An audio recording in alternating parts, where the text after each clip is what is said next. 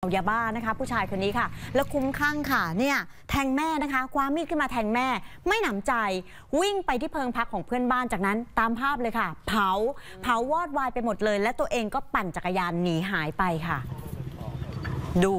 โอ้โห ชาวบ้านแถวนั้นก็ตกใจกันใหญ่เลยนะคะ ดับไฟหน่อย ดับไฟหน่อย เนี่ยกลัวไฟจะลามมาถึงบ้านตัวเองค่ะโอ้โห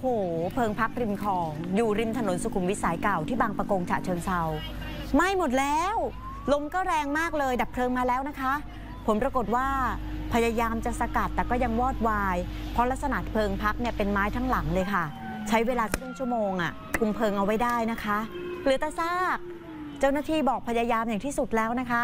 ถามไปที่คุณบุษบาอินสิงห์ค่ะ คนนี้เป็นเพื่อนบ้าน ก็บอกเลยบ้านหลังนี้เป็นของนางน้อย ไอตอนที่เกิดเหตุเนี่ยเจ้าของบ้านก็ไม่อยู่หรอกนะเขาไปทำงาน ส่วนสาเหตุที่เกิดจากไฟไหม้เนี่ย เพราะว่าลูกชายของเขาเองเนี่ยที่ชื่อว่านัทพลอิงสิงห์เนี่ยอายุ 30 ปี ยอมรับตรงๆ ลูกแม่เมายาคุ้มคลั่งไล่ทำร้ายแม่ วิ่งไปหาคนช่วย พอหันกลับมาอีกที เอ้า เดินไปเผาเพิงพักชาวบ้านก็ซะแล้ว และตอนนี้ตามหาตัวไม่เจออนะคะ เพราะปั่นจักรยานหนีหายไปแล้วค่ะ ตอนนี้ชุดสืบกำลังไล่ล่าตัวอยู่ค่ะ